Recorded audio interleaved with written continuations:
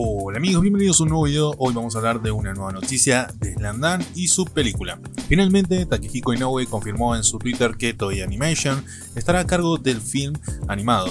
Sí, sí, tranquilos, que no es un live action.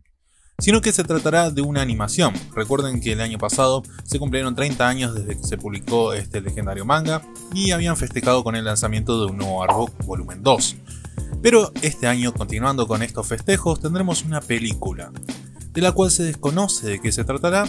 Mm, de momento no hay índice alguno, es un gran misterio. Recordemos que el anime abarcó gran parte del manga, pero no abarcó el campeonato nacional. Sí el regional, en el que Yohoku clasificó al torneo nacional.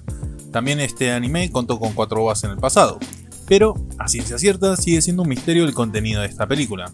Hay gente que cree que será sobre mucho tiempo después de lo acontecido en el manga, podría tratarse de un torneo interescolar donde Hanamichi finalmente se recuperó de su lesión en la espalda y está liderando al Shohoku, o simplemente podría ser sobre el torneo nacional, o un día random en la vida de Hanamichi, quién sabe.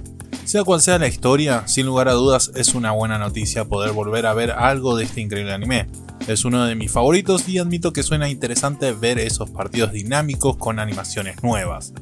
Slandan de esta manera se reúne con otros clásicos que fueron remakeados en estos últimos tiempos, como por ejemplo Dragon Ball Z, Sailor Moon, Orphan, Shaman King o Inuyasha.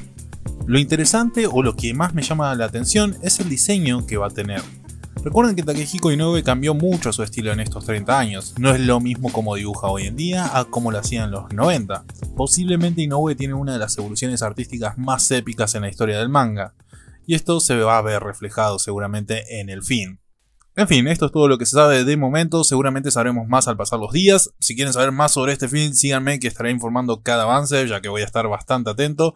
Y déjenme su comentario, ¿qué piensan sobre esto? Para mí, este 2021 ya empezó bien, al menos en el mundo del anime.